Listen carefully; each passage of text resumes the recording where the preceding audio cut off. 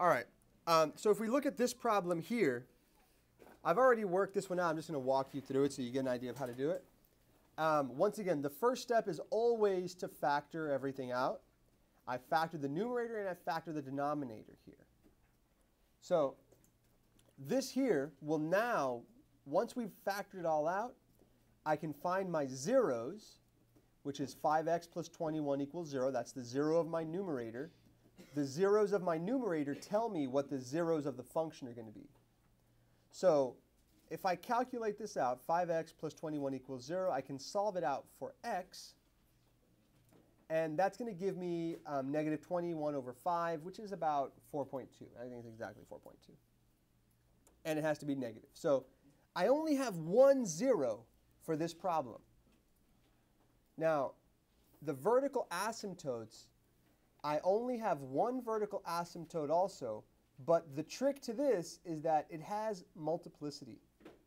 This x plus 5 shows up two times. So when I have an even multiplicity, I have to make sure to bounce.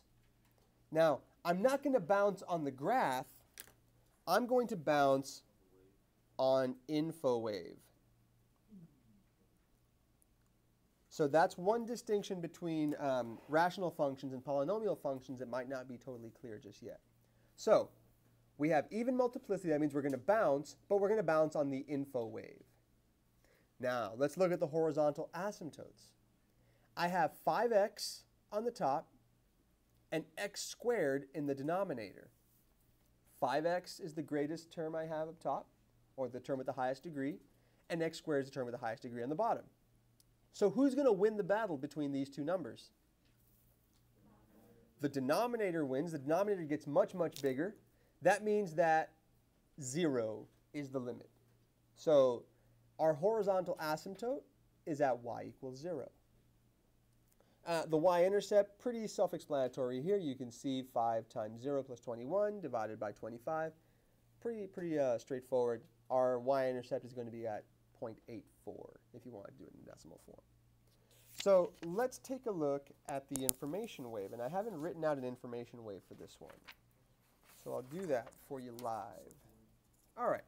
So let's take a look at this information wave. Remember, we have to start off with just a great old-fashioned number line. Right there. And this is our info wave.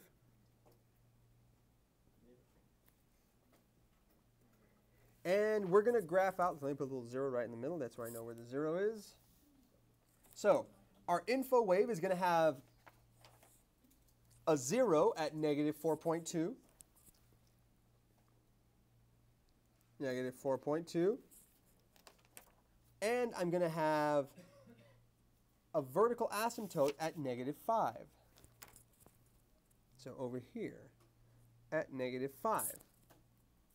And as usual, we start on this side. We start at the top right-hand side, and we have to hit every point of interest with either a bounce, a wiggle, or a cross.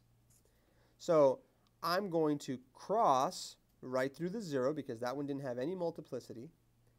And when I come to this asymptote, since it had a multiplicity that was even, I'm going to bounce. So that right there is what uh, my information wave looks like. And I'm going to go ahead and annotate it so you guys can see exactly what the numbers look like or what the uh, positive and negative values are. So this is going to be negative, negative, negative all the way until I get to negative 5. And it stays negative because I bounced.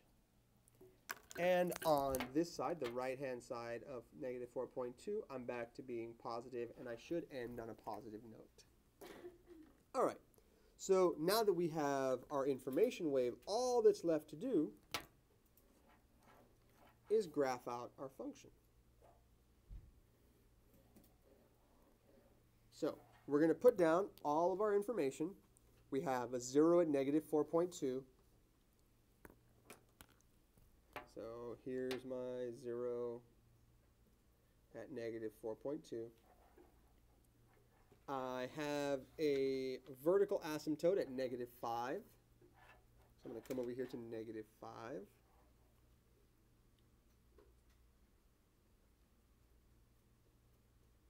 There's my vertical asymptote. I have a y-intercept at 0.84. So I'm going to come up to 0.84, and I just have to I just have to kind of write it in there. There. And I have a horizontal asymptote at y equals 0. So I'm going to take my horizontal asymptote here, and I'm going to shade it just a little bit above the line so I can actually see the horizontal asymptote. And remember, we can cross horizontal asymptotes, but we cannot cross vertical asymptotes. So is this how you would want us to write it on CSS? Yeah, absolutely. This is exactly what I'm looking for here.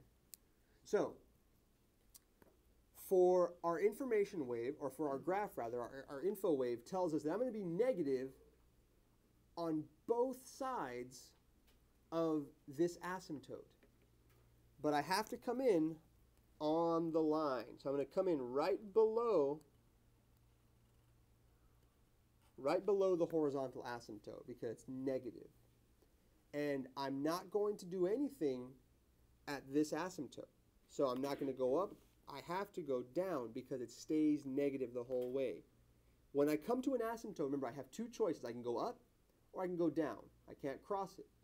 But because we're negative on both sides of this negative 5, I have to go down like that right there.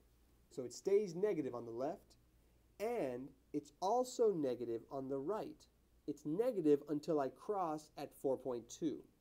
So that means I'm going to come in from this direction, down, cross, through 4.2, right? Now, once I'm past 4.2, I'm positive. I have to cross through my y-intercept, and then remember, my horizontal asymptote tells me where I'm going to land when my graph is far away.